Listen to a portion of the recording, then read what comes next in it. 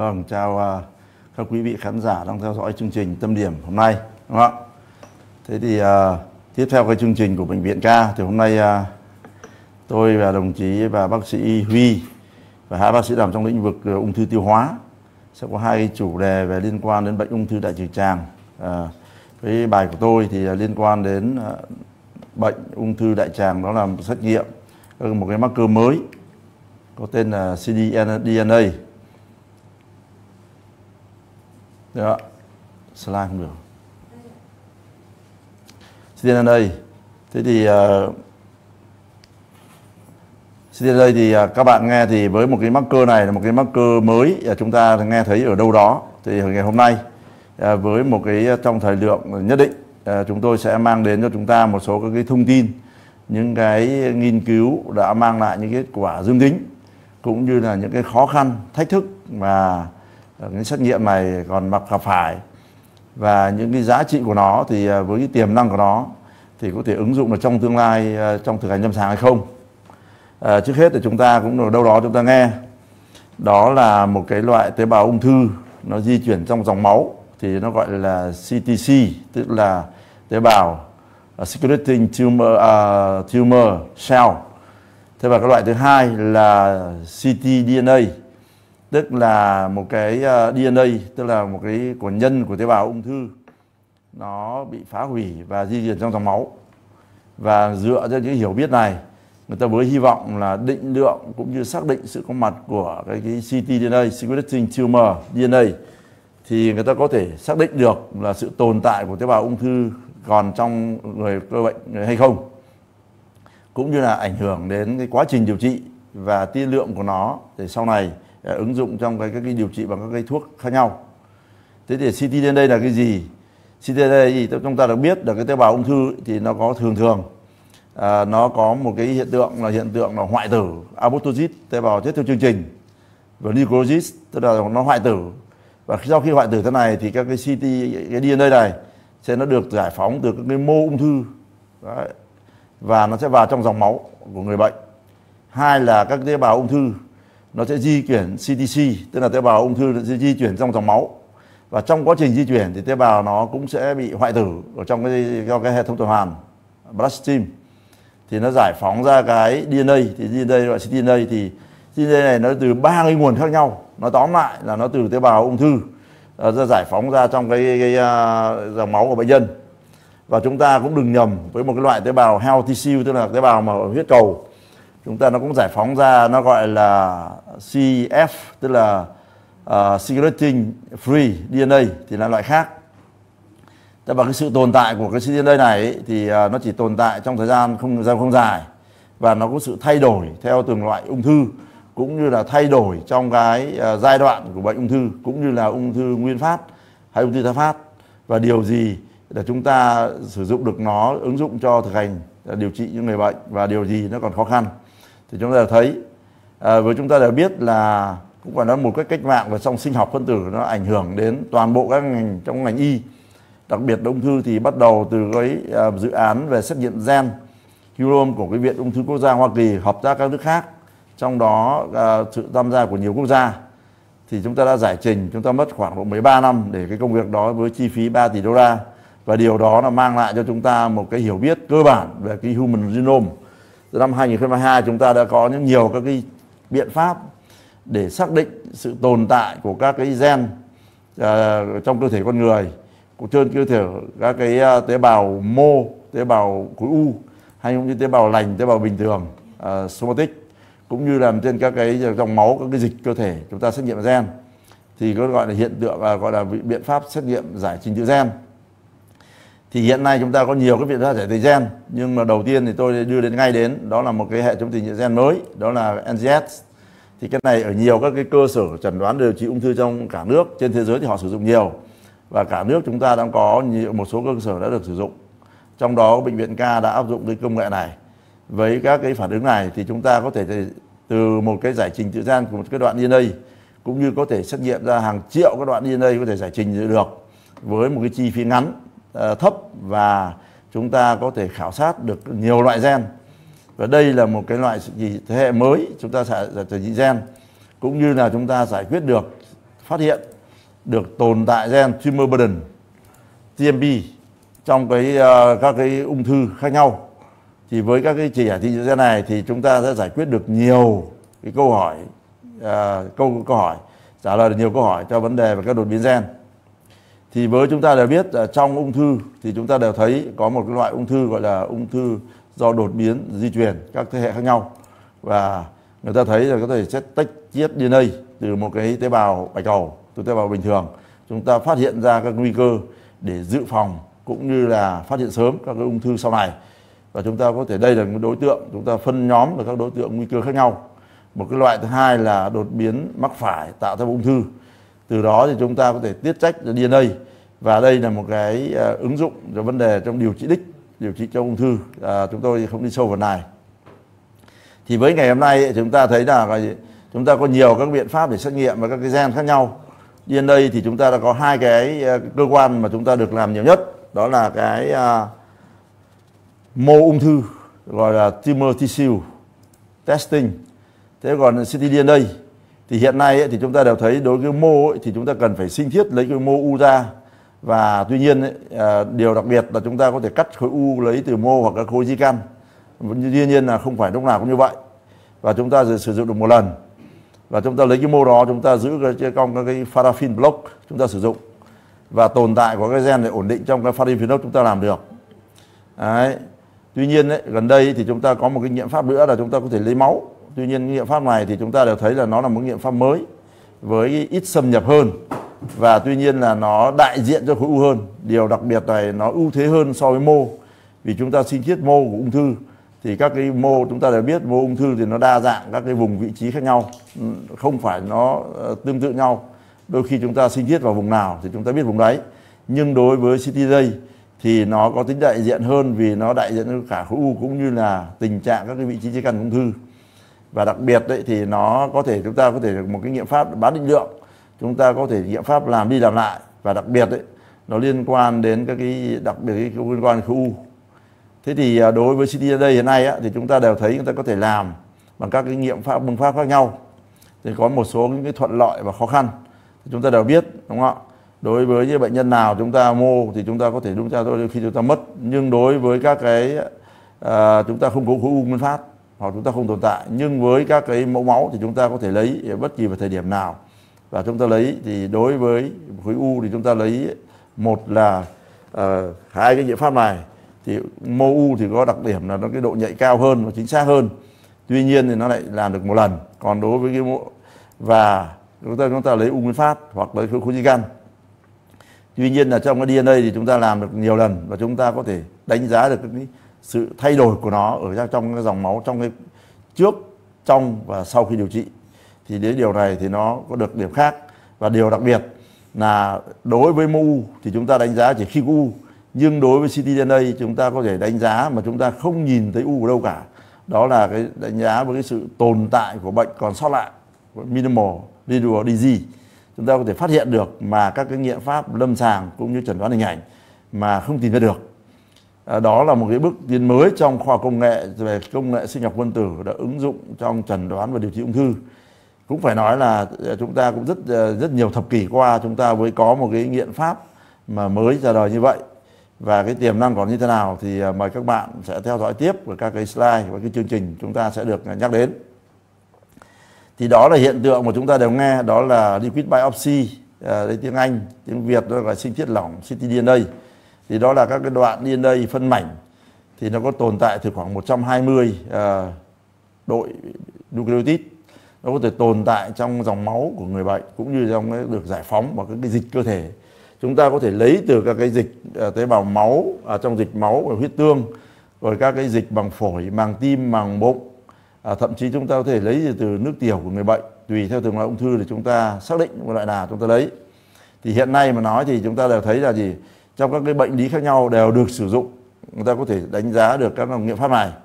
Thì các cái xét nghiệm này thì cũng đã được à, đánh giá nghiên cứu qua nhiều các cái công trình của các cái đồng nghiệp trên toàn thế giới. Và hiện nay thông tin này đã được thống kê ở trên cái tạp chí Nature đó là một cái tạp chí rất nổi tiếng có độ tin cậy cao về mặt khoa học về mặt xác định của mặt phương pháp trong uh, ứng dụng. Và hiện nay thì các cái đối với các cái cDNA chúng ta đã được sử dụng ở một số các cái bệnh ung thư trong đó có ung thư đại trực tràng. Chúng ta đang làm đó là xét nghiệm các loại đột biến gen liên quan đến các cái chỉ định điều trị. Đặc biệt là chúng ta đều thấy là các cái ưu điểm của nó thì chúng ta được chắc đến. Đó là cái nghiệm pháp này thì người ta lấy cái máu của người bệnh sau đó từ cái vùng huyết tương người ta tiết trách DNA thì chúng ta đều biết là chúng ta thấy có nhiều các cái phương pháp để xác định các hiện tượng đột biến gen này. Real PCR, synthetic DNA nhiều cái biện pháp khác về công nghệ sinh học đối với cả những bệnh nhân ung thư chưa phát hiện phòng cũng như là các ung thư mà chưa có di căn cũng như là ung thư di căn từ đó để lựa chọn các biện pháp điều trị. Thì hiện nay chúng ta đều thấy là ví dụ như chúng ta thấy trong ung thư đại trực tràng ung thư phổi đúng không ạ? Chúng ta có thể đánh giá được các cái đột biến các cái gen IGFA tình trạng KRAS, BRAF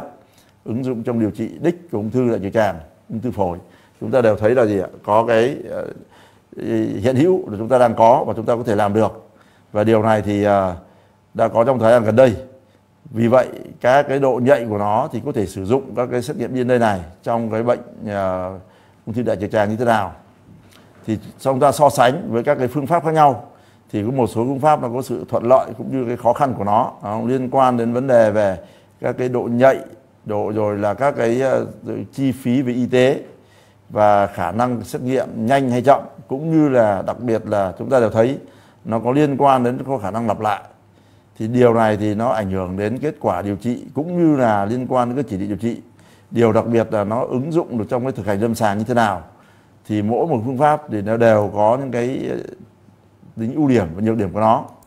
Cụ chung lại thì chúng ta đều biết là khả năng chẩn đoán đúng cũng như là giá thành cũng như là tính tiếp cận của các kỹ thuật đến ứng dụng trong lâm sàng như thế nào thì đây là một cái uh, giá trị của nó cũng như là cái uh, hạn chế của phương pháp như thế nào. Kỹ các kỹ thuật mà đánh giá về các cDNA ấy, thì người ta được ví giống như là chúng ta cắm cái kim trong cái đống rơm tức là rất là khó. Với chúng ta tìm thấy các cái đột biến nhỏ từ 1 đến 5 đột biến của các cái, ờ, cái đoạn DNA trong các cái có thể trong cái hàng nghìn một vạn DNA chúng ta có thể tìm được. Chúng ta có thể, thể lấy từ trong các cái tủy xương trong các cái vùng tế bào bình thường da cũng như hệ thống tiêu hóa thì chúng ta có thể sử dụng được các cái sử dụng biện pháp này. Vậy thì cái biện pháp này có phải là biện pháp nó mới không không? Chúng ta thấy biết là năm 1948 cách đây nhiều thập kỷ chúng ta đã nghe người ta đã có cái công trình khoa học đã công bố về à, thấy hiện tượng về CF tức là à, circulating free DNA trong các máu của người bình thường. Và lúc đó thì năm 1977 người ta đã được sử dụng bộ bãi đặc biệt là chúng ta trong ung thư học trong ung thư tụy thì lần đầu tiên xác định được các cái hiện tượng các đột biến gen KRAS năm 1994 cái đây nhiều năm và 2008 đến nay. Và càng gần đây trong thời gian càng gần đây thì chúng ta đều thấy là các cái nghiệm pháp này được các cái làm sáng tỏ hơn. Ví dụ như chúng ta thời đấy năm 2018 thì à, uh, FDA của Mỹ đã phê duyệt cho cái trong tầm soát một cái trong ung thư cũng như là người ta thấy là sử dụng các cái nghiệm pháp này phát hiện sớm trong nhiều ung thư và đặc biệt là gần đây năm 2021 là FDA đã được phê duyệt theo dõi tái phát của ung thư trong một cái test khác à, về phân tích về cái cái ung thư còn sót lại như thế nào.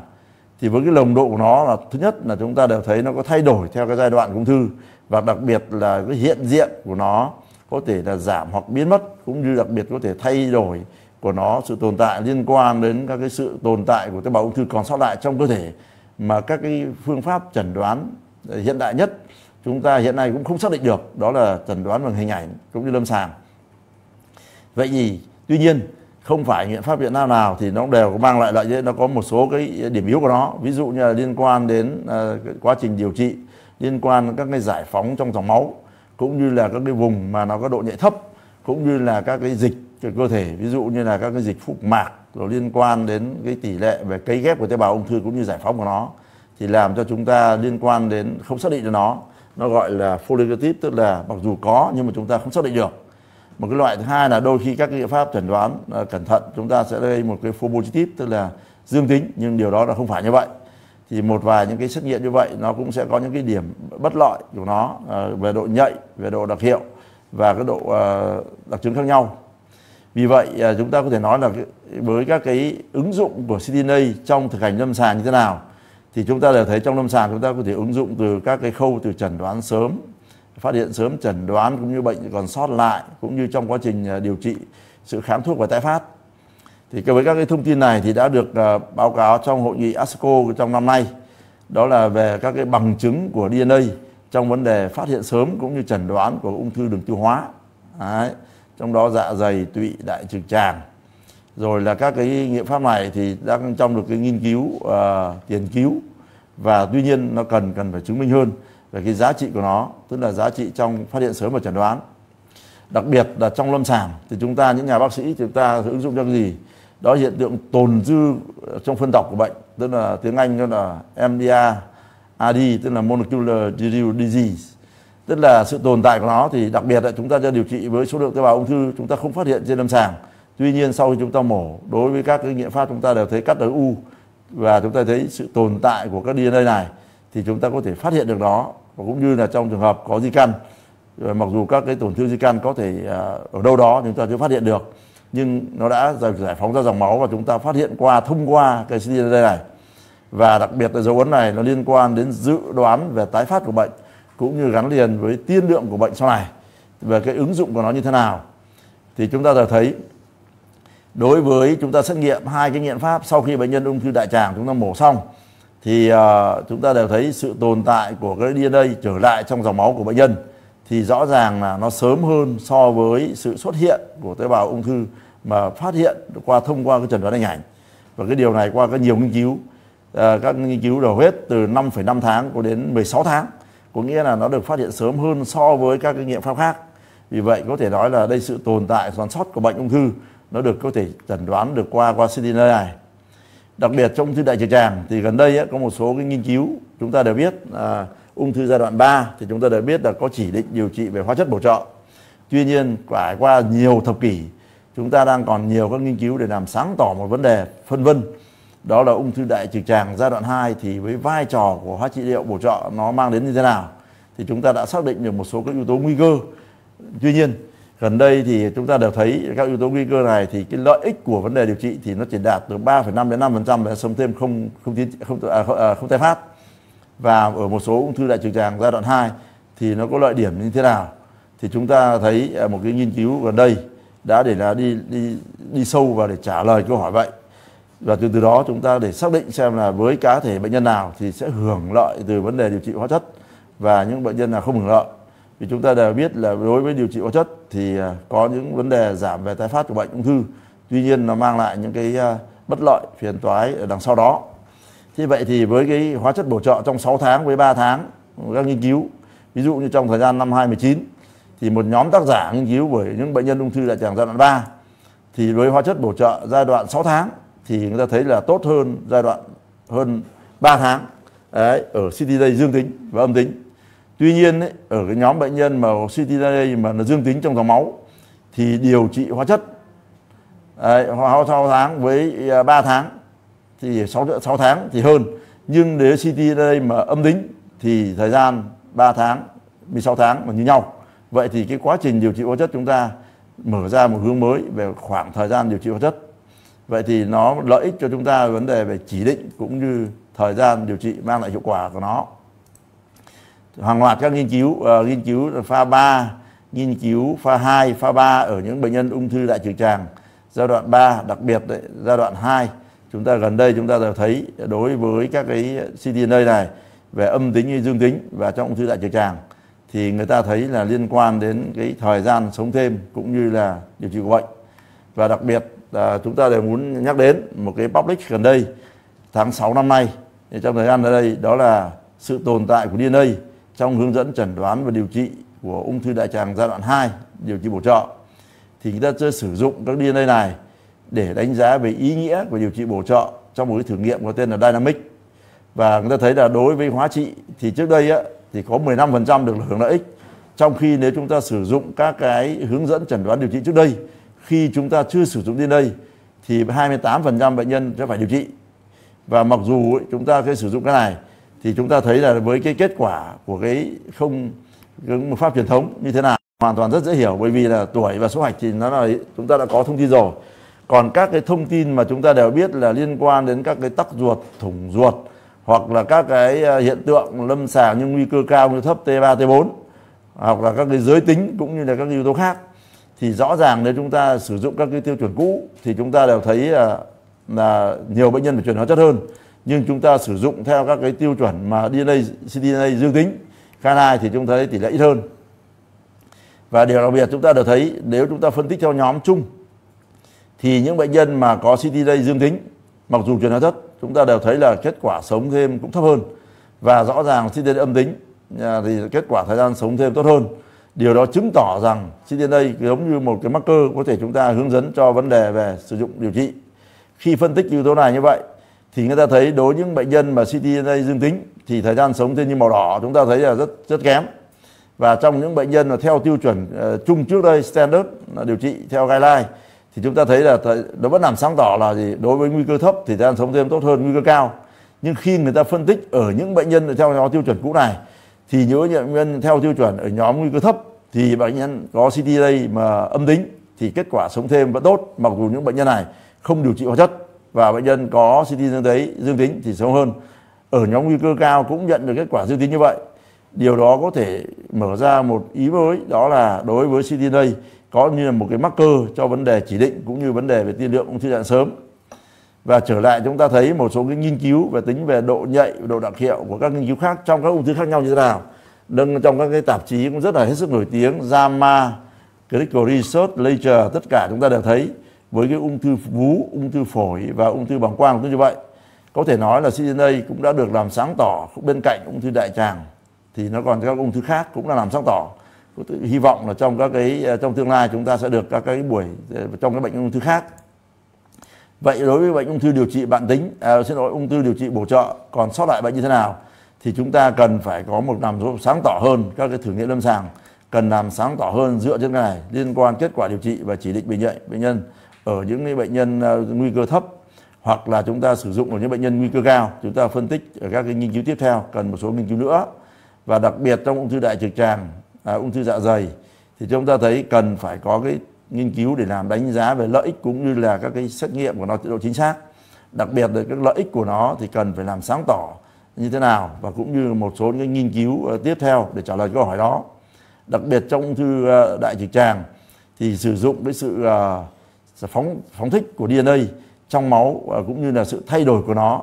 cũng như các yếu tố nguy cơ cao, cũng như là cái độ à, khả năng chẩn đoán đúng liên quan đến đáp ứng, hoặc liên quan sống thêm toàn bộ, sống thêm không tiến triển và sống thêm của bệnh nhân, cũng như khoảng thời gian liên quan của nó thì cũng tiếp tục cần phải được làm sáng tỏ hơn ở một các số khía cạnh khác.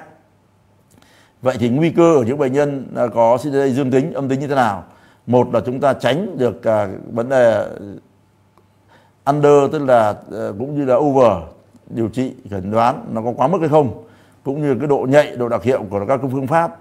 Đặc biệt điều này á, nó mang lại cho chúng ta một số thứ tức là các cái giá trị của các cái xét nghiệm độ chính xác của nó cũng như là liên quan đến cái sự thay đổi của nó trong dòng máu. Và một trong những yếu tố liên quan nữa là cái marker về hiện tượng uh, của hóa của nó nữa thì cũng cần phải sáng tỏ các yếu tố khác một trong ứng dụng trong lâm sàng nữa liên quan đến lựa chọn bệnh nhân điều trị cũng như là các cái đáp ứng của điều trị cũng như đáp ứng. Thì hiện nay mà nói à, quay trở lại chúng ta đều thấy CTDA có một số các cái nghiên cứu mang tính dương tính chúng ta làm sáng tỏ. Tuy nhiên nó chưa được được được được đồng hành trong vấn đề chẩn đoán và điều trị của các cái ung thư nói chung theo cái tiêu chuẩn cũ hiện nay. À, về hiện nay và nó được đặc biệt đấy người ta cần phải nghiên cứu cái độ đặc hiệu của nó à, liên quan đến cái tương đồng của nó các cái mô trong các ung thư khác cũng như là nó không thể xem cân nhắc, nó có thể là thay thế cho vấn đề về sinh thiết ung thư được hay không. Thì và các cái thông tin này như thế nào thì chúng ta cũng phải đợi thêm các cái nghiên cứu thêm để trả lời cho đó. Và ý nghĩa của trong các ung thư đường tiêu hóa như thế nào, đặc biệt là liên quan của nó với cái hiện tượng mà điều bệnh nhân điều trị đích, điều trị kháng thể có hiện tượng miễn dịch là hiện tượng giả tiến triển. Và thực sự tiến triển hay không, nó có liên quan gì với cDNA trong sự phóng thích của trong hệ thống tuần hoàn hay không và thay đổi của nó cũng như là ngoài ra, cái mối liên quan của cDNA này với các một số các mức khác trong truyền thống chúng ta biết, ví dụ như chẩn đoán thay đổi về hình ảnh, cũng như là các cái marker khác trong ung thư như CA vì vậy, chúng ta lại phải tiếp tục đợi chờ một nhiều nghiên cứu các thử nghiệm lâm sàng nữa để trả lời cho câu hỏi vậy.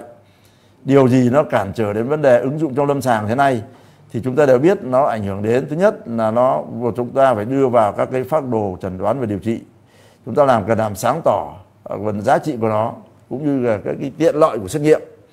cũng như là, gọi là làm validating sáng tỏ liên quan vấn đề về kinh tế y tế. Chúng ta sử dụng các biện pháp này nó có mang lợi gì cho những người bệnh không?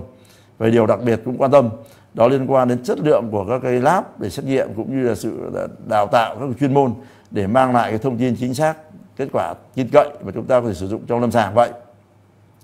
với những cái, với các cái xét nghiệm nào cũng như vậy mới thì chúng ta đều phải trải qua cả nhiều cái quá trình để chúng làm sáng tỏ về lợi ích của nó, cũng như là cái sự tương đồng của các cái biện pháp chẩn đoán xét nghiệm truyền thống. Và từ đó làm sáng tỏ về giá trị, độ nhạy, độ đặc hiệu, tỷ lệ chẩn đoán đúng, tỷ và của nó, cũng như là khả năng ứng dụng của nó về mặt kinh tế học trên lâm sàng.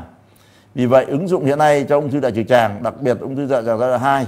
thì chúng ta thấy sự đối với dương tính thì cũng thì cân nhắc vấn đề liên quan tại phát và điều trị hóa chất với âm tính thì chúng ta có thể đã được uh, có thể ấn định cho bệnh nhân vào nhóm theo dõi hay chưa? Và đối với CT dương tính thì chúng ta cần phải điều trị. Còn âm tính chúng ta không phải điều trị. Với như vậy sau này đối với những bệnh nhân đó có tái phát hay di căn thì điều gì chúng ta trả lời được? Và về mặt là cũng như vào các cái guideline chúng ta dựa vào đó chúng ta làm bằng chứng chúng ta có thể uh, thảo luận với người bệnh được đồng ý chúng ta có thể chấp nhận cho người bệnh như vậy hay không? Thì đây là một cái câu chuyện mà chúng ta cần phải những cái nghiên cứu tiếp theo. Và hiện nay ấy, thì có các các thử nghiệm lâm sàng gần gần ủng hộ với những cái bệnh nhân ở những bệnh nhân nguy cơ cao. Đó là những bệnh nhân nguy cơ cao CT dương tính. Và từ đó chúng ta có chỉ định điều trị cũng như là cân nhắc vấn đề về khoảng thời gian điều trị và theo dõi. Vì vậy cái bằng chứng của nó ở đây là chúng ta phải xác định được các cái xét nghiệm chính xác với các cái sự tồn tại của CNA sau phẫu thuật ung thư đại tràng sau khi mổ từ 4 6 tuần và như vậy và chúng ta đánh giá. Và bước đầu chúng ta đều thấy là đối với CTNA không những phải làm một lần mà chúng ta phải làm nhiều lần để đánh giá sự thay đổi của nó đánh giá về sự tái phát hay không. Vì vậy có thể đưa ra một số những kết luận về các cái CTNA các mắc cơ mới này như thế nào. Thì chúng ta đều thấy là đối với sự tồn tại ứng dụng của nó thì có thể tồn uh, sử dụng trong lâm sàng trong tương lai. Tuy nhiên Ờ, điều chúng ta cần cần thiết là có một số các cái thử nghiệm lâm sàng nữa, một thiết kế với số lượng lớn hơn ờ, ở các cái đối tượng khác nhau để cung cấp cho các bằng chứng và làm thay đổi được các cái hướng dẫn, chẩn đoán cũng như điều trị ở các cái tổ chức ờ, và điều đó nó được sử dụng thay thế cũng như là ứng dụng cùng với nó trong lâm sàng. Và điều đặc biệt là về mặt kinh tế học thì với giá trị của nó mang lại như thế nào, chúng ta cũng cần các cái nghiên cứu để phân tích đặc biệt là liên quan đến cái hệ thống bảo hiểm y tế cũng như là các cái kiến thức về khoa học và các sự phát triển của công nghệ, các cái xét nghiệm cũng ảnh hưởng. Và CDNA thì phải nói nó là một cái ý nghĩa về tiềm năng trong vấn đề điều trị bổ trợ giai đoạn sớm à, của ung thư đường tiêu hóa, trong đó có ung thư đại tràng. Và nó làm thay đổi trong vấn đề chỉ định cũng như đánh giá về sự đáp ứng thuốc của bệnh nhân ung thư giai đoạn muộn, giai đoạn di căn. Với biện pháp này thì cái sử dụng của nó như thế nào thì trong tương lai thì chúng ta cần phải một số các nghiên cứu làm sáng tỏ hơn nữa và cố gắng chúng ta sẽ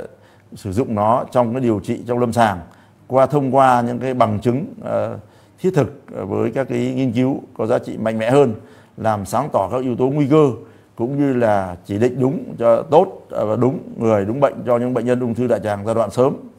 À, như vậy thì đây là toàn bộ cái nội dung của tôi